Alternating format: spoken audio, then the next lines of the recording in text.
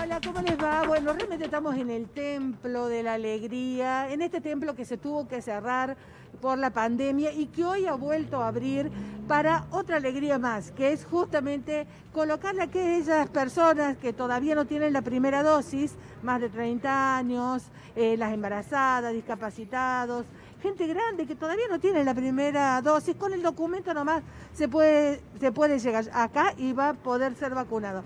Ojo, dije, se puede llegar acá, pero esto es lo único que hay hasta ahora. Ahí pueden ver, nada más que las sillas, eh, teóricamente esto empezaba a las 12, pero lo único que hay en este momento son las sillas, no ha venido nadie del COE, no ha venido nadie del Ministerio y evidentemente hay mucha gente que está haciendo cola desde muy temprano para poder vacunarse.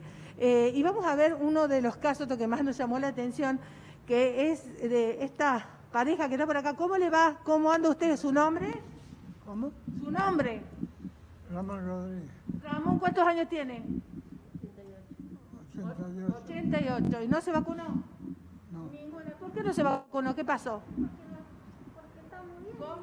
Porque estábamos bien, no teníamos nada, pero Bueno, pero hay que, había que vacunarse, sobre todo la gente grande. me decidí vacunar. Ahora se decidió vacunarse. Sí, Ajá. a los dos. Era por eso nada más, por una decisión de ustedes.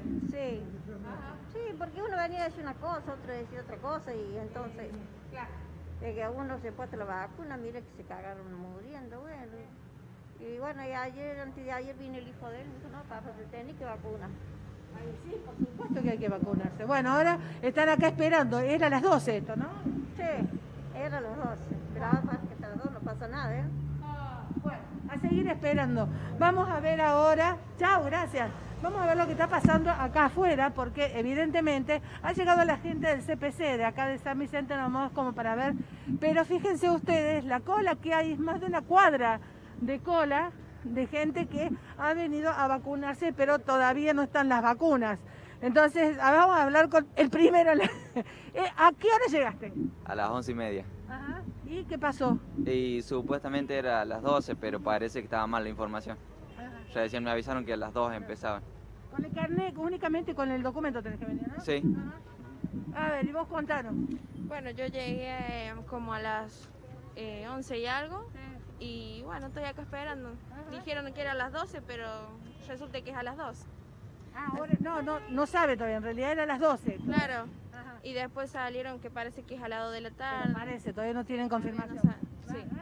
A ver, por acá, hola, ¿cómo te va? ¿Primera dosis te querés poner? Sí. Ajá. ¿Y qué pasó? ¿Qué, qué te han dicho?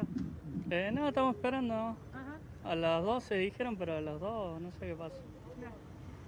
Y bueno, Sí. habrá que seguir esperando. Y sí, Ajá. no, no, vuelve. ¿Vos qué edad tenés? Eh, 15.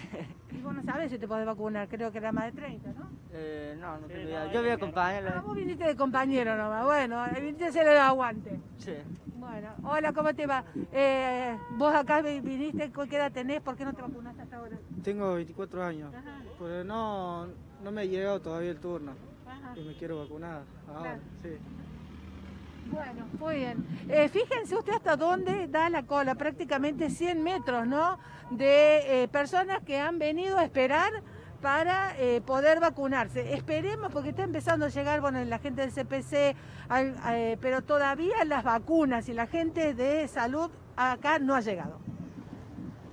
Perfecto, muchísimas gracias. Mónica Revilio, uno de los puntos, uno de los tantos puntos de vacunación nuevos eh, por estas horas, que es el Sargento Cabral.